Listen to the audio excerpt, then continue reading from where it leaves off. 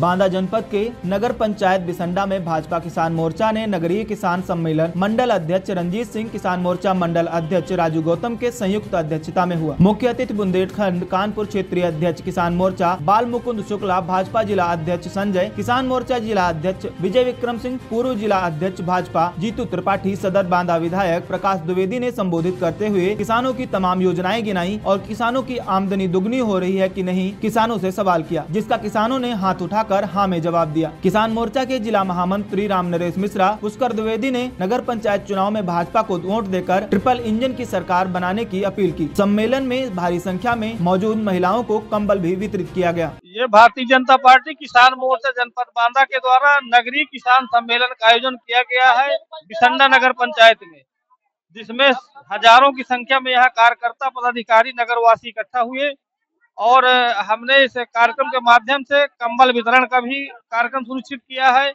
अपने कार्यक्रम के मुख्य अतिथि आदरणीय बाल मुकुंद शुक्ला जी जिला अध्यक्ष संजय सिंह जी, सदर विधायक प्रकाश द्विवेदी जी, अन्यान जीतू जी त्रिपाठी, अन्यान सभी लोग, मंडल अध्यक्ष वगैरह सभी लोग उपस्थित रहे। आर नाइन भारत के लिए शिवविलास शर्मा की रिपोर्ट, बांदा।